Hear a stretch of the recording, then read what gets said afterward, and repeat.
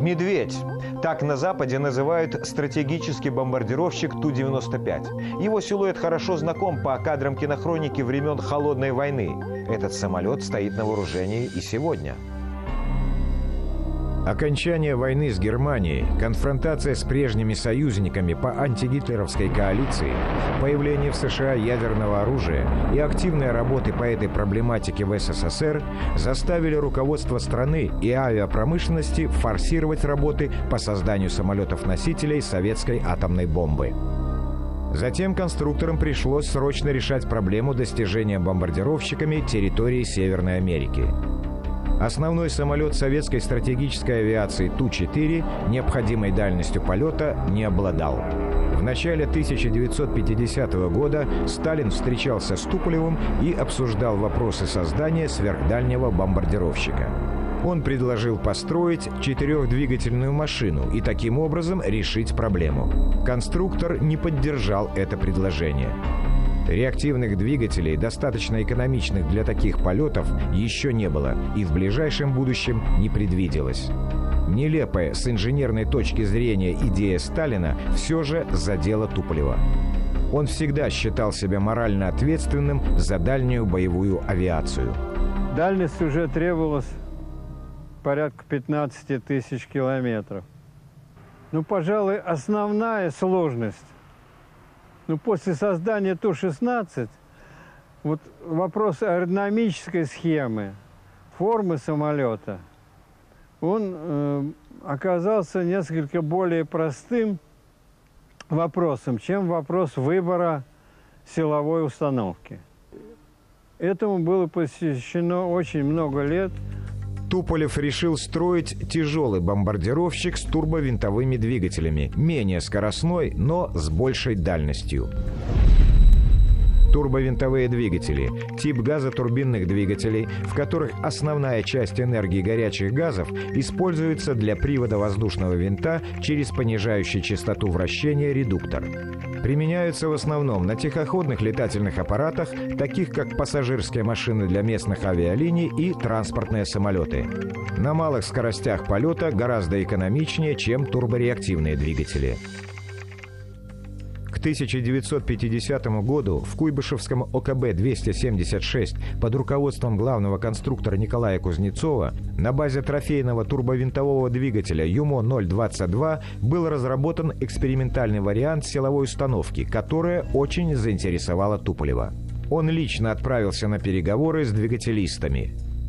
В результате родилось уникальное решение – сделать спарку из двух двигателей и оснастить ею планер со стреловидным крылом. Когда вопросы по силовой установке были решены в первом приближении и облик нового стратегического бомбардировщика начал принимать вполне реальные контуры, Туполев снова вышел на Сталина. Встреча состоялась, судьба будущего самолета с индексом 95 решилась положительно. Сроки для работы над бомбардировщиком были предельно сжатыми. Дело в том, что Сталин и его окружение всерьез рассматривали возможность скорого ядерного конфликта со своим основным противником – Соединенными Штатами Америки. Важнейшим элементом оборудования самолета была его защита от поражающих факторов ядерного оружия. За самое короткое время бомбардировщик должен уйти как можно дальше от эпицентра взрыва противном случае самолет мог получить серьезное повреждение от ударной волны и светового излучения, а экипаж погибнуть от недопустимой дозы облучения. В октябре 1951 года началась постройка первого опытного самолета. Пришлось преодолевать массу трудностей и с разработкой стреловидного крыла большого удлинения, и с созданием современного пилотажно-навигационного оборудования – и с обеспечением выживаемости самолета в высоких широтах. Удары по США планировалось наносить через Северный полюс. Год спустя бомбардировщик был передан на заводские испытания. Они шли тяжело. По воспоминаниям участников работ по самолету 95, моральная и физическая нагрузка была неимоверной. Люди работали на износ, спали в день по несколько часов – О выходных или отпусках никто не заикался. Все было посвящено доводке и передаче в кратчайший срок бомбардировщика в серию и в войска. Фронт холодной войны требовал жертв. Во время одного из первых полетов летчики с большим трудом сумели посадить машину. В ходе 17-го полета в мае 1953 года произошла катастрофа.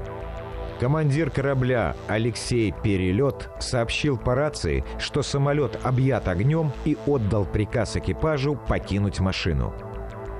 Опытный экземпляр разбился. Погибли четыре человека. Для расследования причин произошедшего была создана специальная правительственная комиссия. Туполев мужественно встал на защиту членов своей команды и отстоял право на продолжение работы – Вскоре началось производство самолета-дублера. Над новым образцом трудились с особой тщательностью, помня об уроках недавней трагедии. На самолете были установлены новые, более совершенные двигатели. Первый полет дублера состоялся в феврале 55-го. Испытания продолжались еще год. В результате Ту-95 был принят на вооружение. Ту-95 – стратегический бомбардировщик – Название по классификации НАТО «Бэр» – «Медведь». Длина – 46 метров. Размах крыльев – 50 метров. Максимальная взлетная масса – 172 тонны. Силовая установка – 4 турбовинтовых двигателя Кузнецова НК-12. Максимальная скорость – 882 км в час. Практический потолок – 11 900 метров. Практическая дальность – 15,5 тысяч километров. Вооружение – от 2 до 6 спаренных авиационных пушек калибра 20 23 мм, бомбы общим весом до 12 тонн, ядерные боеприпасы, крылатые ракеты. Экипаж 8-9 человек. В ходе серийной постройки Ту-95 неоднократно модифицировался и модернизировался в соответствии с нуждами военных и требованиями времени. Это самолет так же, как и самолет Ту-16. Естественно, был, получил очень большое развитие различных, в различных вариантах, одним из которых, главным из которых был опять вариант самолета ракетоносителя, когда достижение цели уже достигалось не самолетом, а ракетой. На этом самолете также была отработана заправка топливом в полете, которая позволяла, соответственно, увеличить его дальность полета. До появления на вооружении межконтинентальных баллистических ракет бомбардировщики Ту-95 и М-4, созданные в ОКБ Месищева, служили основным средством доставки советского ядерного оружия. Ракетоносцы Ту-95К до сих пор играют значительную роль в системе ядерного сдерживания.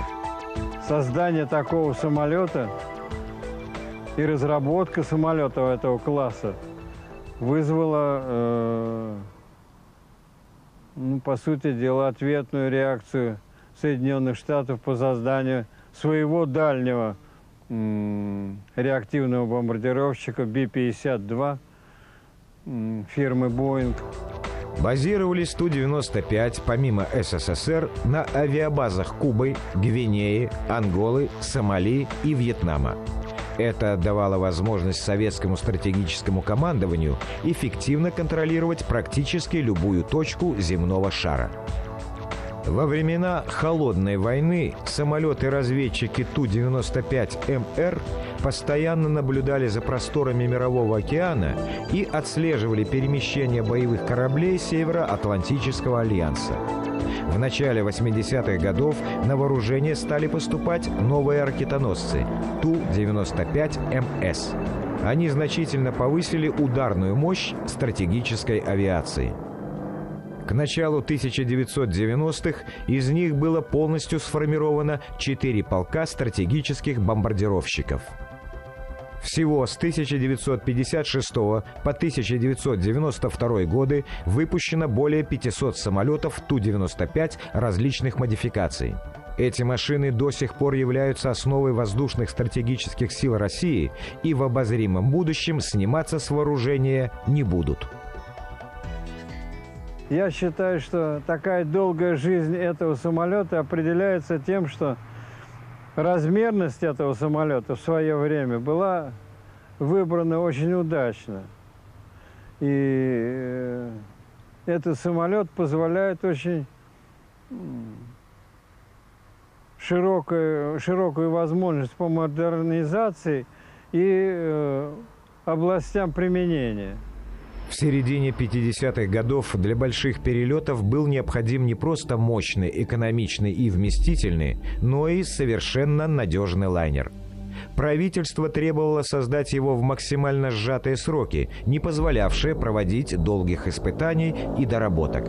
Уже имея опыт переделки военного самолета в гражданский, Ту-16 в Ту-104, генеральный конструктор сразу же выбрал прототип новой машины – бомбардировщик Ту-95.